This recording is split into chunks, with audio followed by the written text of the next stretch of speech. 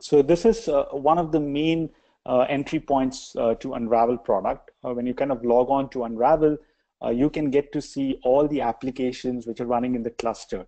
Uh, so it's easy to for you to go and select any time frame.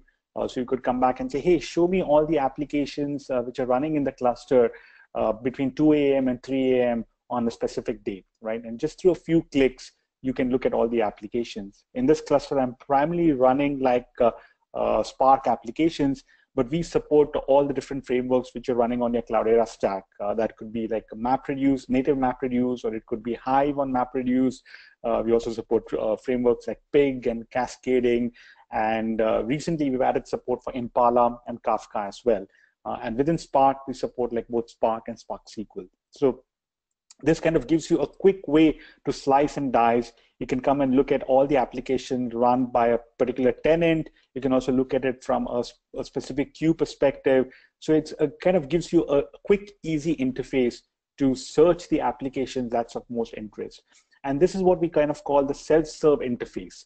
Uh, like many times your end users are submitting these queries using a CLI or, or end user tool and there's no easy way for them to come in and take a look at it, right? You could go through a Cloudera manager, uh, but it's got all of these capabilities around the system side of things, but the end user is really concerned with his or her application. And with Unravel, we kind of make it easier for the end user to just come in and look at their application uh, that they're most interested in.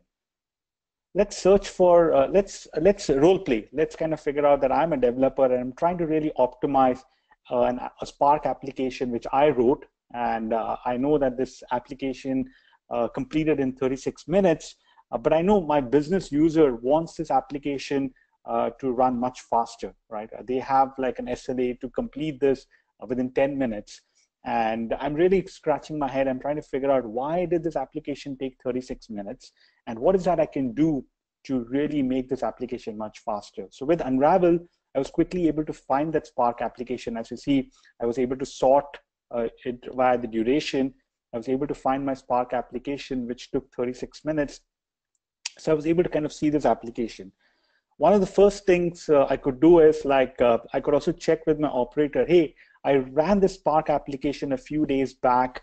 Uh, it took much longer. Can you help me what's going on? And uh, many times uh, the operator would like to see what is really happening from a Cloudera manager perspective because there could be a lot of systemic issues which are causing these applications to fail or not perform correctly. Uh, there could be like high CPU utilization in the cluster. Uh, so you could come in and look at like uh, the Cloudera Manager interface to really kind of understand what happened on the 10th, right? How much CPU was being used in the cluster. And clearly it says that like uh, it had enough resources in the cluster. It was not bottleneck from that perspective. Uh, you also want, want to kind of look at the, the network statistics, right? Many times network becomes the bottleneck and you want to understand what happened from a network perspective at that time. And the Cloudera Manager is a great tool to help you kind of look at that from a systems perspective. You really want to understand, does the cluster have the right resources from a CPU or a memory and uh, CPU and a memory and a network perspective. The next thing you want to know is, uh, what's the Spark service running at that time, right? So with, uh, with Cloudera Manager, just through a few clicks, you can come in and you can look at like, okay, how did the Spark, how's my Spark uh, daemons doing?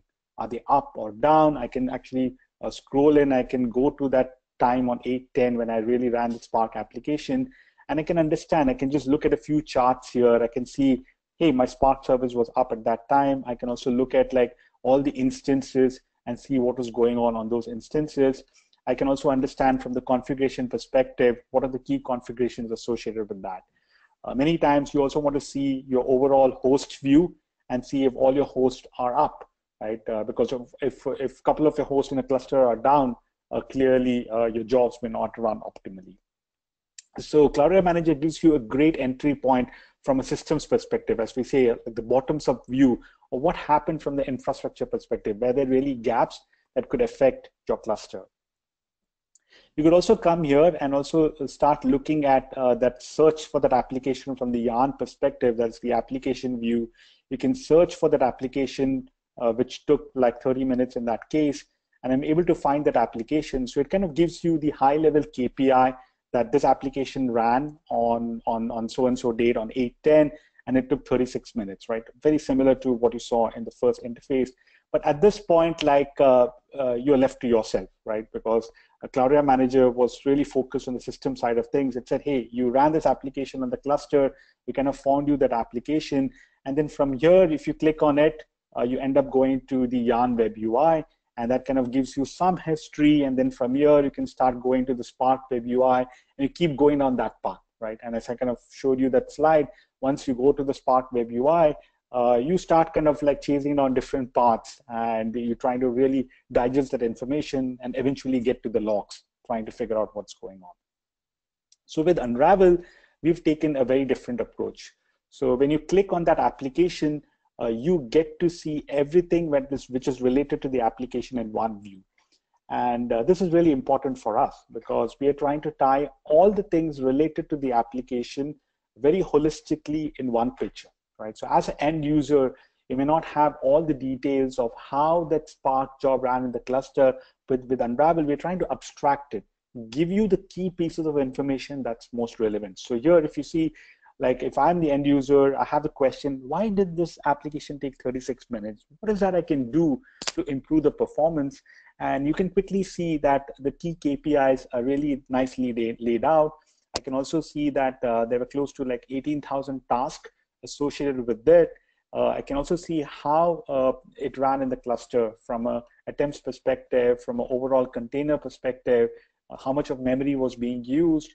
I can also really understand the fine-grained resource usage, right? Uh, as Spark is a very is a very kind of memory-intensive framework.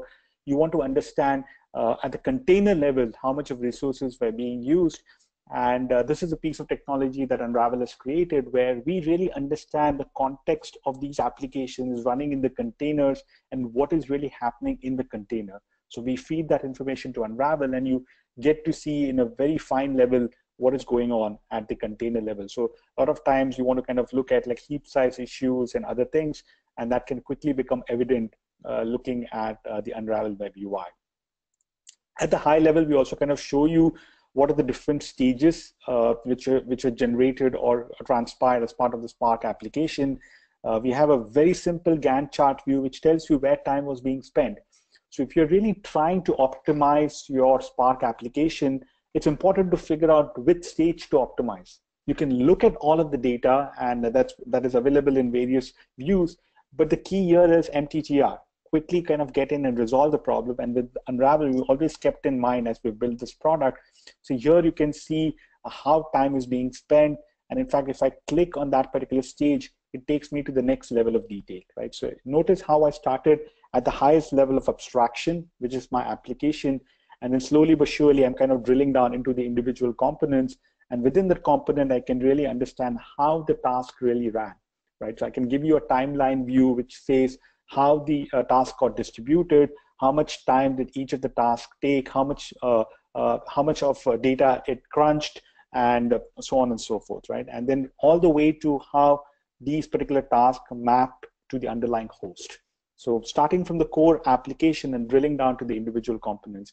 And these kind of visuals are very important because if you have things like skew, uh, the visuals which you have built in Unravel can help you spot those very, very easily because you'll typically find like one task uh, which is taking much longer than others and it's crunching a lot more data than others, right? So just looking at these visuals gives you a lot of insights, uh, which is very difficult to glean otherwise, right? You have to kind of like put your systems and processes in place and and your knowledge and a lot of best practices to get this. But we have tried to encompass all of this in a product in our product. But the key value prop of Unravel is above and beyond, right? So as I mentioned, we kind of not only present you with all of these visuals, which is very, very important, but we go beyond this, where we try to do a lot of the analytics behind the scenes, where we're looking at this metrics and logs and configuration data, and then kind of telling you, look, we understood the context of this application. We also understand what other applications are running in the cluster. We also understand, we also know how much of resources and uh, capabilities are available in the cluster. Based on all of that, we do our analytics and kind of tell you, hey, there is a lot of things you can do to improve the performance. And we point that out to you. We kind of say, okay, these are some of the current configuration parameters, but you could do much better by changing these configuration parameters. And the reality is, for all of these big data systems, there are so many configuration knobs that it's impossible for an end user, for a business analyst to be really on top of all of this, right? And uh, many times they just use it, they end up using like default configuration parameters, and that's not the right thing to do. So with Unravel, we've kind of, since we're understanding all of these applications which are running in real time, we can provide very objectively what your recommended configuration parameters are, right? So in this case, we're kind of looking at some of the key Spark parameters, and we are suggesting concrete values that you can use uh, as part of your next run to improve the performance. And we also kind of give you the reasoning behind it, right? So here's the science behind it, where we've understood uh, many of these uh, configuration parameters. We've looked at how the containers are being used or underutilized. Uh, many times we also give you recommendations above and beyond just configuration parameters where we tell things like uh, if you can cache a certain RDD, right? So with Spark applications, you can get significant more performance by caching certain RDDs. So we can point out which RDDs you can cache and also help you map to the line of code where you can go and add the cache statement. So in this case, I took this recommendation, uh, which Unravel provided, and then reran that same Spark application, which now ran in 7 minutes, 12 seconds, right? So you notice a significant performance improvement from 30 minutes to 7 minutes, 12 seconds. And as you noticed, it just took a few clicks, right? So if you are like an end business you, uh, business analyst who's got access to Unravel, you can come and take a look at it, see what Unravel is saying, and start collaborating with your ops team and say, you know what, hey ops, take a look at this. Unravel is saying I need to kind of change these configuration parameters, and you can have both the ops team and the development team take a look at this, and within a few minutes, everybody can agree that these are good configuration parameters that you can change. You can like rerun your Spark application with these changes, and you can get a significant performance improvement, right? So going back to the poll, for many of you as you're kind of struggling with performance and trying to improve the speed or trying to improve the speed of these applications, Unravel provides a quick path to help you get unblocked and solve a lot of these issues. So in addition to uh, looking at application speedups, uh, uh, there's a lot of other value add which you provide at Unravel. So let me kind of quickly go through a few other key capabilities. We will not have time to cover all of that, but uh, another key feature which we do in Unravel is help you identify or chase down errors because many times it's just not application speed up. It could be uh, you wrote a Spark application and uh, it failed, right? And like uh, today, there's a lot of back and forth, really trying to figure out where the error is because you have to go and grep the line of code in a particular executor, and the executor could be running on node number like 200 or something like that, right? So go and fetching those logs and trying to understand that becomes really painful. painful. Uh, with Unravel, uh, just a few click, you can come here and we can tell you exactly where the error is and what the problem is, right? So here we are kind of giving you some insights on what is going on. And if you click on the error views, we're pointing out exactly what those problems are, right? So we're kind of telling you these warnings and we give you these fatal exception messages and we're extracting that stack trace uh, from the appropriate log, right? So here there are some permission issues which are causing uh, that particular Spark application to fail. So as you notice, again, just through a few clicks, Unravel kind of helps you get to the root cause of the problem. So quickly come in, like understand those issues, fix those issues, and move on.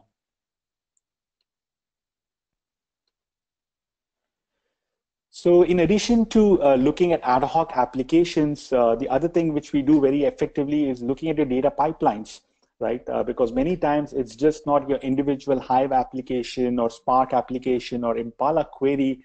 You also want to look at your end-to-end -end data pipelines. And uh, that is very important because uh, it's, it's a combination of your Hive jobs or Spark jobs. And that view is very difficult to get to today. Right? You could go to a Yarn Web UI or you could go to another console, but they'll kind of tell you your individual MapReduce components or Spark components. But what you're really trying to get to is tell me my entire workflow. And that workflow is really composed of a bunch of Hive jobs and Spark job and MapReduce jobs. And you want to look at the entirety of that. And that is a very powerful view which we've built in Unravel, where again, you can come in and say, this is my data pipeline, prod model gen 2, which runs daily. And I really want to understand how the performance has changed over a period of time. So with Unravel, with just a few clicks, you can do a delta of the performance between your good run and a bad run. And within the bad run, again, you can figure out like which component is the long pole. And you want to spend your time and effort really optimizing uh, the component which took the most amount of time.